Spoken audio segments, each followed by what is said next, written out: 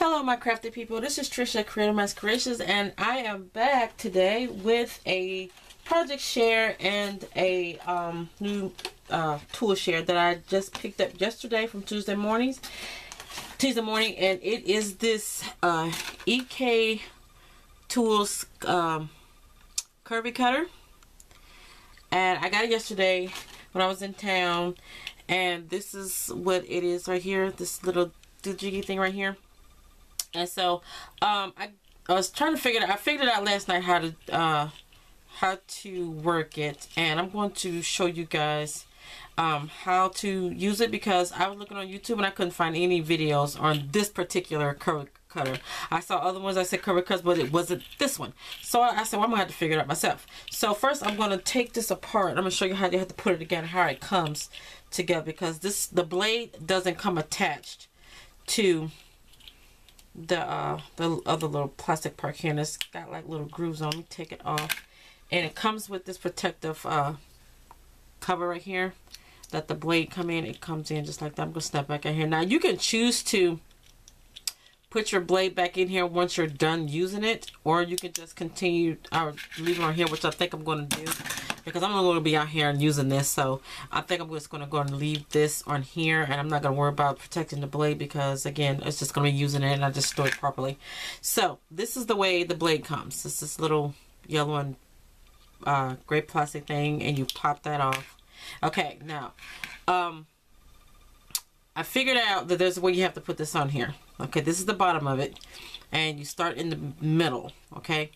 Now I'm going to show you now you have to make sure that the blade is on the inside of the thing. You can't have it the blade on the outside like this. It has to be on the inside. Now I think when I put it on last night and I tried it out, I had it on the outside and it cut okay, but I think it cuts better uh, it cuts it smaller if you put it on the inside. So again, it has these little little grooves on there. You can see where you have to snap it in place on the um, the gray piece.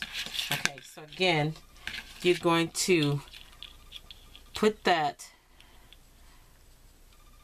blade on the inside and then snap it on and be careful. Now, I didn't have as much trouble putting it on when I was on, on camera. I guess I'm trying to show it to you guys while I'm doing this, but it's a smaller groove I think you just snap it in just like that and then you're just gonna come all the way back it spins all the way back like this ah, I just snapped it off. And put it back on. Okay because you can see right here the groove that little part right there it's uh like a little opening where you can put snap that in there easier. Okay so this is the bottom of it and you got it in there. And I'm going to I guess it doesn't really matter if you don't have it always around but the blade has to be in the middle. So I'm assuming. Because I uh it comes with the instructions and uh it didn't really tell me much this is the only thing that came with it and didn't tell you how to put it together or nothing it just came with this on how to cut it so and we already know how to do that most of you are not do that if you've used this and have made these little flowers and this is what they look like I made a couple and I've also uh distress mine a little bit. And I distressed them um, two different ways. This is I distress on the inside of the petals. See that? And then these are distressed on the outside. And you can do both inside or outside. So I did the distress, I called the, on the outside. So it doesn't really matter which side you do it on. It just depends on how, which way you roll it. Okay, now you're going to need a, a cutting mat because you don't want to cut up your table and your surface that you're working on. And so far I used a uh, 8.5 by 11 piece cardstock and I cut it down right down the middle at 4 and a quarter. And then I'm going to cut another another piece about a little slightly better at 4 and a half. Um, it'll work, still work at 4 and a quarter by 4 and a quarter square. But this is the piece I used and this is what you're going to have left. Okay.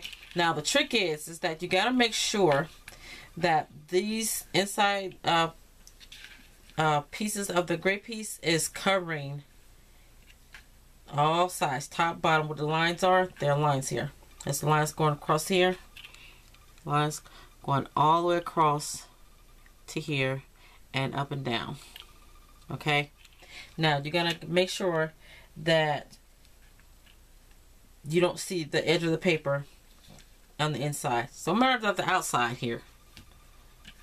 No matter about the outside. But you got to make sure that the inside is covered. The whole inside of this is covered. You just gotta center it. Well, you, you know you can you can cut it bigger and you don't have to worry about this part. But I did this because I don't have to um, be wasting paper later. And somehow, I like it's all out of line. Like it got twisted or something. But it, I don't think that really matters. Because it looked like it's now it's a lot of whack. And it got grooves on it. Or like little feet on it. Or little pads when you, when you put the down it, it's not supposed to move. But it does anyway. But anyway, so I'm just to go worry about that. I'm going to, again, try to center this and make sure all of the size, uh, this, this inside edge is not going off the paper. You know let's turn it this way. Probably just could have turned it the other way. It's probably safer if you, you know, you have a problem with this to cut it bigger, at least four by four, four and a half by four and a half at the smallest. Okay, so now I got all of the size. Let me zoom in just a little bit more.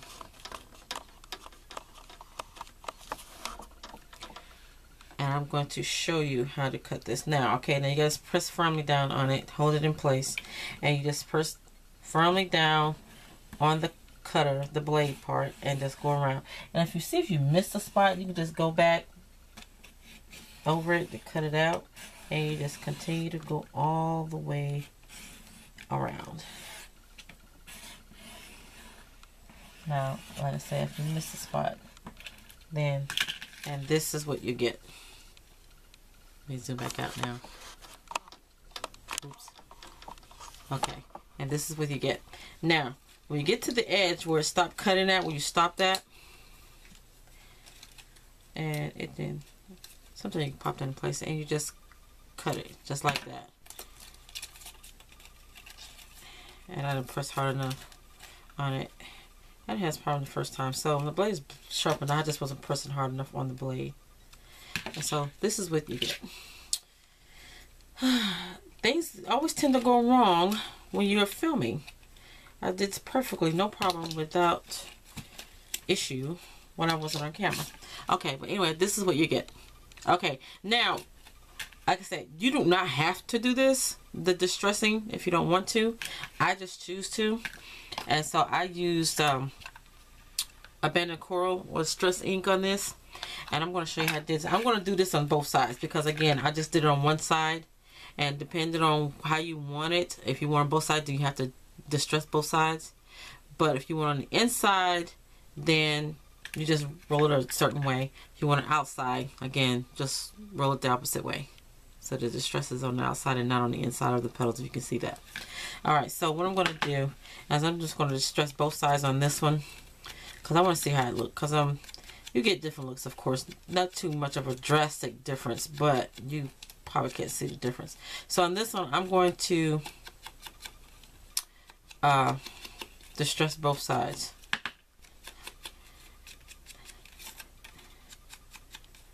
And I'm just going to go all the way until I get to the inside of this.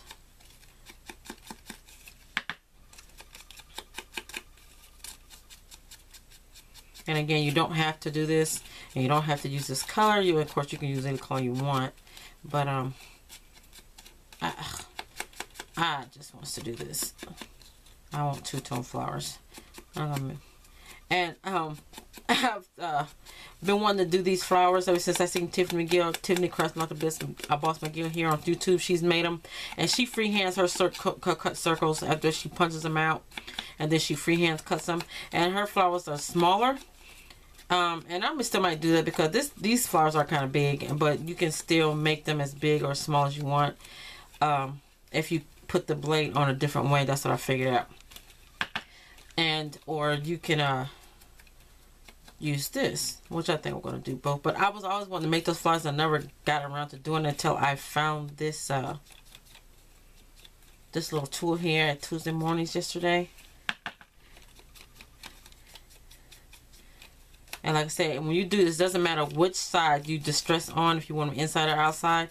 Uh, it just depends on which direction you roll it. But I want to stress it on both sides of this one and see how it looks.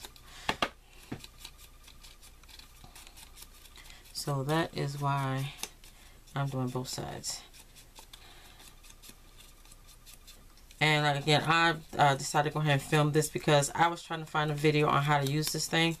And I, I couldn't find that one. Like I said, I, they had the EK Success uh, craft uh, uh, curvy cutter, but it was there was I seen a square one and I seen another that was totally different from this. It was it, it wasn't this tool. I don't know what it was, but it, I couldn't find one for this one. So I said, well, I'm gonna have to figure it out myself, and then uh, do it. So I I usually start with a uh, paintbrush to get me started, and then take it out, and then you just roll it. Like I said, if you did these with uh, freehand cutting, then it's the same thing as far as this part goes.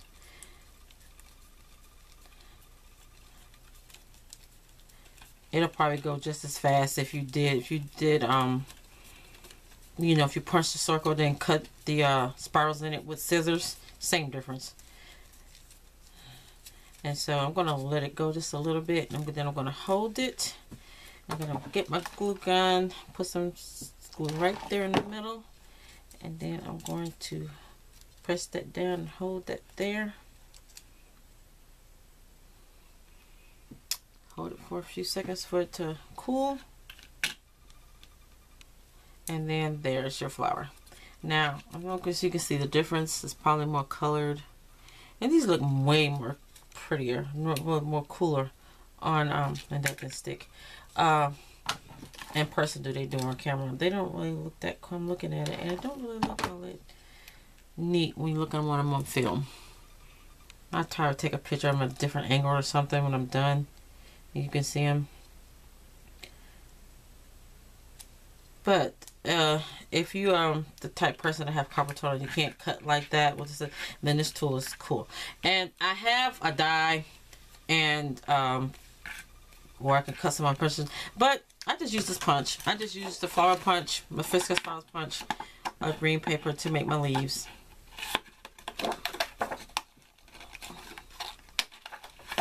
This and I just put a full one on the bottom of that and made then glued it on like that. Then I took another one and I just cut it in three petals. And I put two petals on this one. And you got the leaves on there. And I'm just gonna put the throat the one with the three on here on there like that. So I'm just gonna put some glue on the bottom of this and then put that on there like that. And there's a flower one of those real flowers. So these are pretty cute. These pretty are cute. And like I said, these um